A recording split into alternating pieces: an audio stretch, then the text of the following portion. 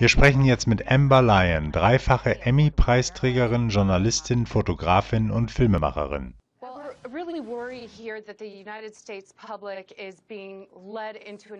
Ich habe ernste Sorgen, dass die amerikanische Öffentlichkeit hier auf einen weiteren potenziellen Konflikt mit dem Iran vorbereitet wird, in einer ähnlichen Art und Weise, wie wir in den Kriegen im Irak und in Afghanistan hintergangen wurden.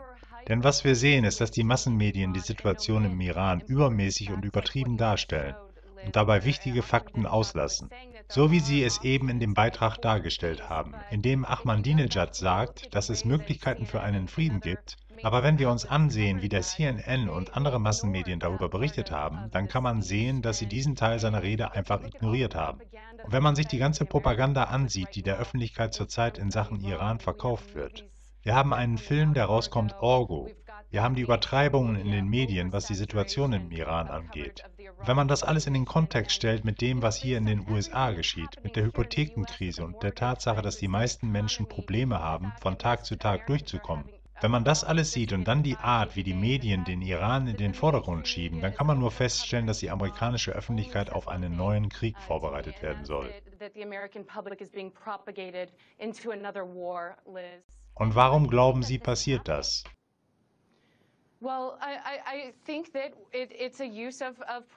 Ich glaube, sie benutzen Propaganda. Und das führt uns wieder zu dem Begriff Massenvernichtungswaffen. Dieser Ausdruck wurde der amerikanischen Öffentlichkeit ununterbrochen eingetrichtert, bis wir uns im Irakkrieg wiederfanden. Und jetzt sehen wir dasselbe geschehen mit Nuklearwaffen und diesmal ist es der Iran.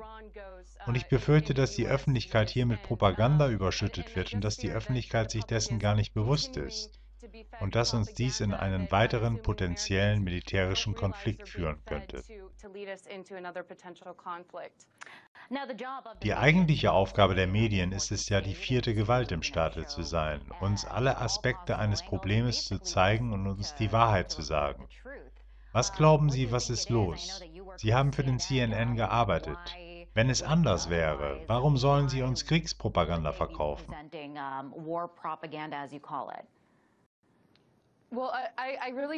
Tatsächlich will und kann ich nicht spekulieren, warum dies alles so geschieht.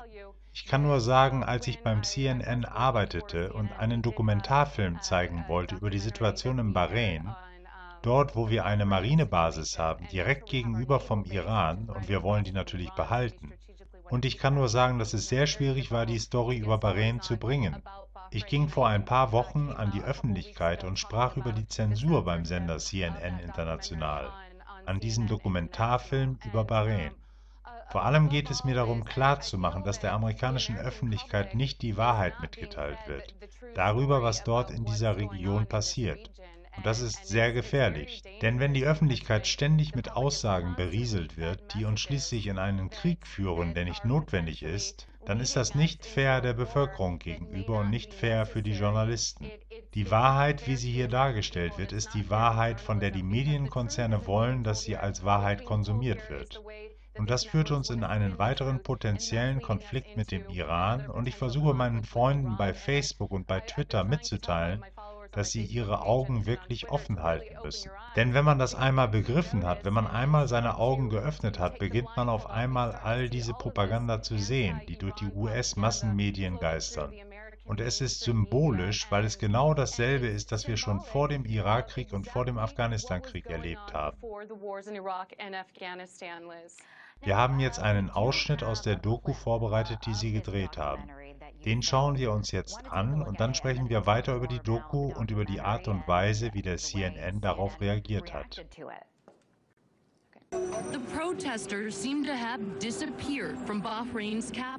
Die Demonstranten scheinen aus Bahrains Hauptstadt verschwunden zu sein aufgrund des intensiven militärischen Eingreifens der Sicherheitskräfte.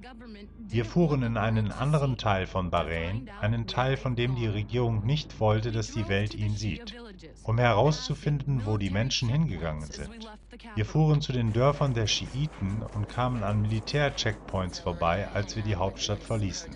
Wir wollten etwas Zeit zusammen mit diesen Demonstranten verbringen. So sieht der Protest heute aus junge Leute, die von Tränengasbehältern getroffen werden.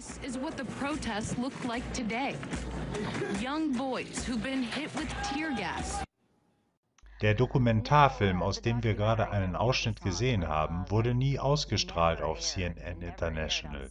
Warum nicht?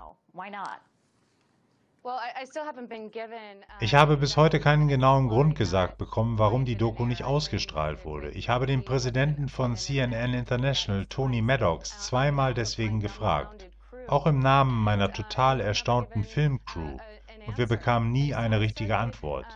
Ich habe dann versucht, mehr über diese Gründe herauszufinden, nachdem mich auch einige andere Mitarbeiter von CNN ebenfalls darum baten. Sie sagten, schauen Sie, was da los ist, es ist sehr komisch. Sie senden diesen Dokumentarfilm nicht. Und nachdem wir uns ein wenig in die Angelegenheit hineingearbeitet hatten, fanden wir heraus, dass der CNN tatsächlich Geld macht durch diese Situation. Geld des Regimes in Bahrain.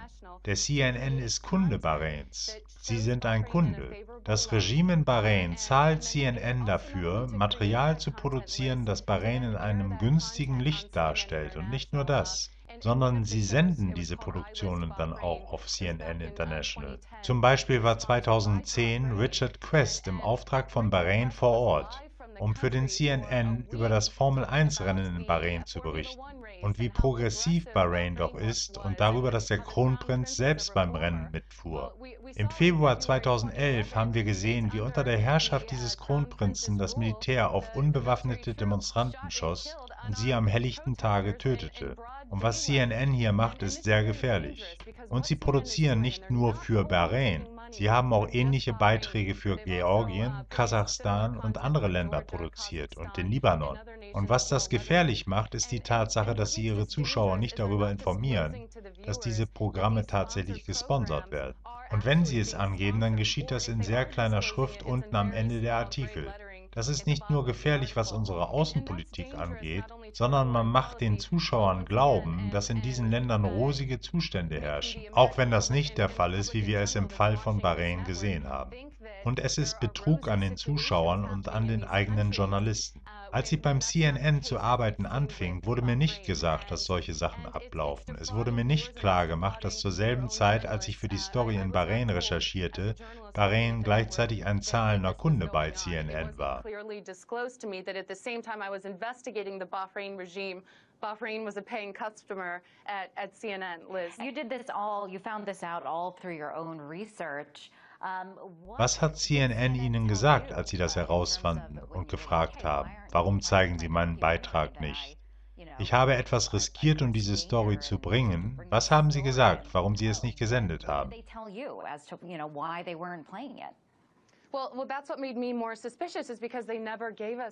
Das machte die ganze Sache für mich nur noch verdächtiger, weil sie uns nie eine richtige Antwort gegeben haben, obwohl ich sogar zweimal den Chef von CNN International gefragt habe. Und sogar meine direkten Vorgesetzten bei CNN wussten keine Antwort darauf. Und das machte mich skeptisch als investigative Journalistin und ich wollte der Sache dann auf den Grund gehen. Wir hatten als Crew in Bahrain Helfer und Fahrer, die zurzeit wegen der ganzen Situation keine Jobs mehr haben, weil sie uns geholfen haben, diesen Dokumentarfilm zu drehen und deshalb immer noch Schikanen zu erleiden haben. Ein Angestellter für die Organisation Ärzte ohne Grenzen, der uns in diese Dörfer gefahren hat, um uns zu Ärzten zu bringen, die von den Sicherheitskräften geschlagen wurden. Er hat seine persönliche Sicherheit gefährdet. Einige Monate nachdem wir den Film gedreht haben, wurde sein Haus niedergebrannt. Und es gibt Aktivisten, die sagen, dass dies geschah, weil er CNN bei dieser Reportage half. Und diese Helfer vor Ort wussten nicht darüber Bescheid, dass der CNN zur gleichen Zeit Geld vom Regime in Bahrain bekam, um positive Inhalte zu produzieren, die ihren Ideen widersprachen. Und sie haben ihr Leben riskiert. Und ich glaube, dass der CNN ihnen eine Entschuldigung schuldet. Ebenso wie eine Entschuldigung gegenüber den eigenen Zuschauern und den eigenen Journalisten dafür, dass sie sie mit diesen Informationen betrogen haben. Das ist wirklich eine Geschichte, die einem die Augen öffnet und ich danke Ihnen dafür, dass Sie gekommen sind, um uns diese Geschichte zu erzählen. Thanks for having me on. I appreciate it.